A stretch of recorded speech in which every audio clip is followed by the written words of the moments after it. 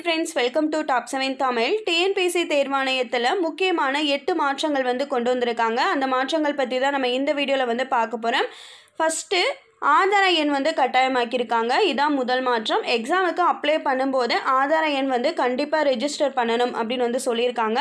ரெண்டாவது மாற்றம் என்னன்னு சொல்லி பார்த்தீங்கன்னா அந்த தேர்வு எழுதுவதற்குரிய அந்த தேர்வு மையங்கள் எக்ஸாம் ஹாலில் வந்து அந்த மாவட்டங்களை வந்து நம்ம செலக்ட் பண்ணுவோம்ல அதுக்கு மூன்று மாவட்டங்கள் வந்து நம்ம செலக்ட் பண்ணலாம். அதில் எந்த தேர்வு மையம் அப்படின்றத தேர்வாணையம் தான் வந்து முடிவு செய்யும் அப்படின்றத வந்து சொல்லியிருக்காங்க.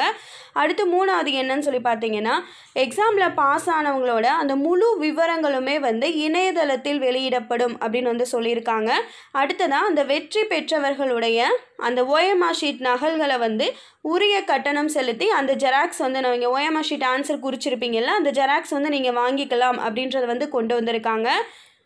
தேர்வில் முறைகேடு நடக்காத வண்ணம் அந்த உயர் தொழில்நுட்ப வசதியெலாம் வந்து கொண்டு வந்திருக்காங்க. சீக்கிரம் வந்து கண்டுபிடிச்சிடும் முறைகேடு இருந்தால் கண்டுபிடிக்கப்படும் அப்படின்றலாம் வந்து சொல்லியிருக்காங்க.